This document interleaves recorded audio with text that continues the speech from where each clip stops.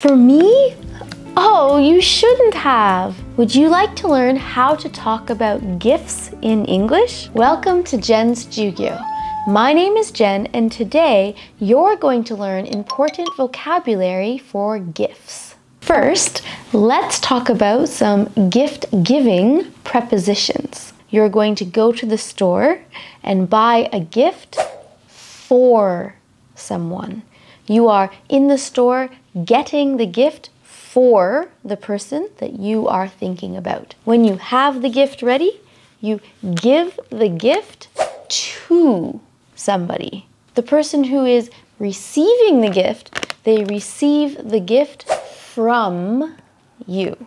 So give a gift to someone, get a gift, receive a gift from someone. If there is some kind of big event like Christmas, maybe you are giving a gift to someone and getting a gift from someone. In this case, we can say exchange gifts with or exchange presents with. On Christmas, I will exchange presents with my friends and family. Next, let's take a look at six useful phrasal verbs connected to gifts. First is pick out.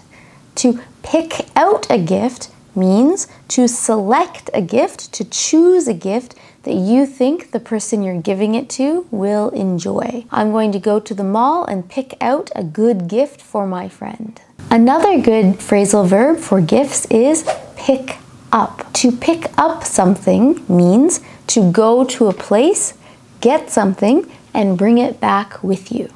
So I went to the mall to pick up this gift for my friend. Another great phrasal verb for gifts is give out gifts.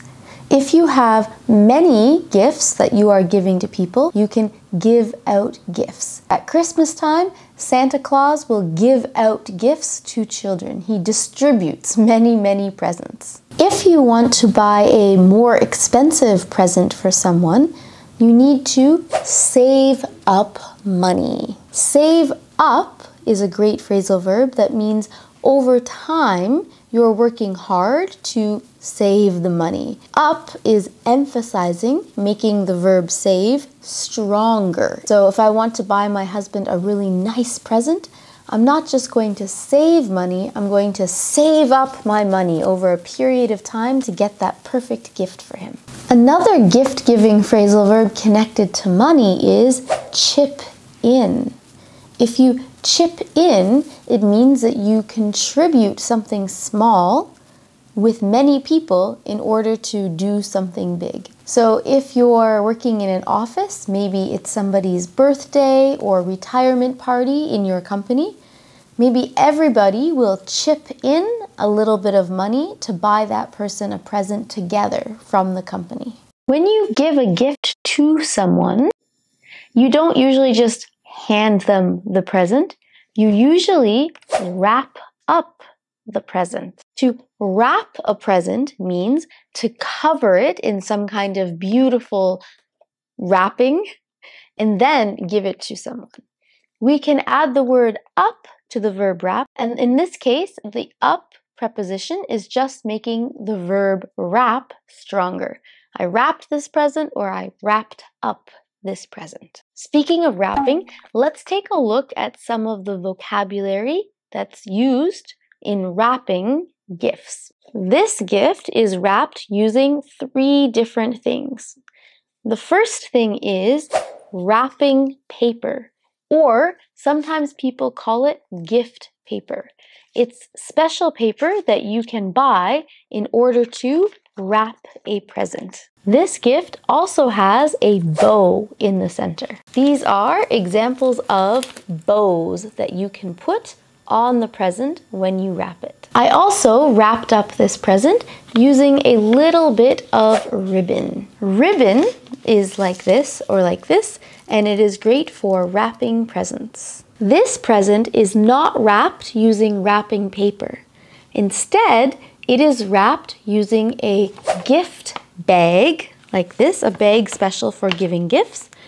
And when we use this kind of gift bag, We also usually use tissue paper. This is tissue paper and it's also often used for wrapping presents. Now, let's talk about what you can say when you want to give a present to someone. You could just say, Here, this is for you, and give the person the present. That's perfectly fine. Or, Hey, I got a gift for you.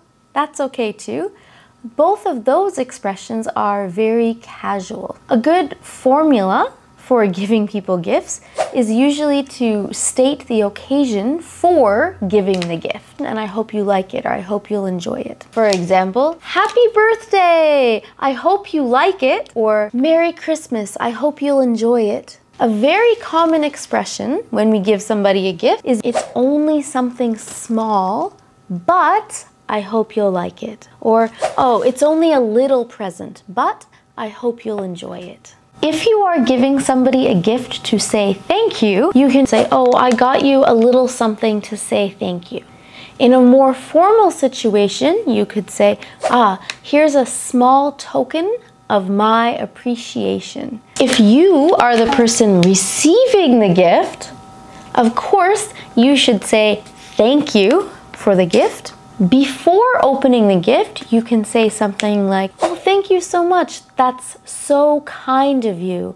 Or, Oh, for me, you shouldn't have. Or, Thank you for this present. It's so thoughtful of you. Something to imply like you are very thankful for the gift, but you weren't expecting the person to give you a present. Once you've opened the present, you should express the fact that you are happy about whatever you have received so depending what it is, you can just say, thank you, I love it, or thanks so much, I've always wanted this, whatever it is. If it is some kind of clothing, you can say something like, thank you so much, I'll put it on right away. If it is a painting, for example, wow, it's so beautiful, I'll hang it up right away. If it's something else, like a pen or some perfume, wow, this is wonderful, I'll use it right away.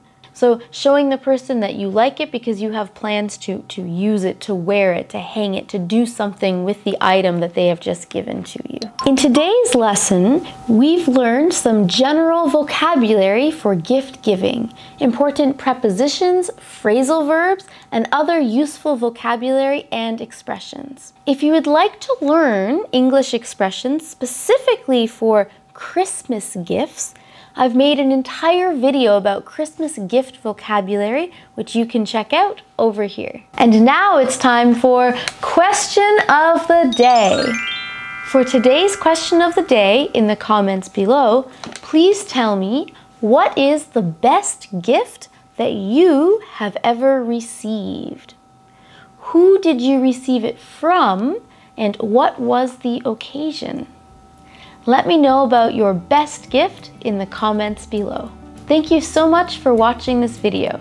If you'd like to give me a gift, please subscribe to Jen's Jyugyou and give this video a thumbs up. Good luck with your English studies. See you in the next lesson.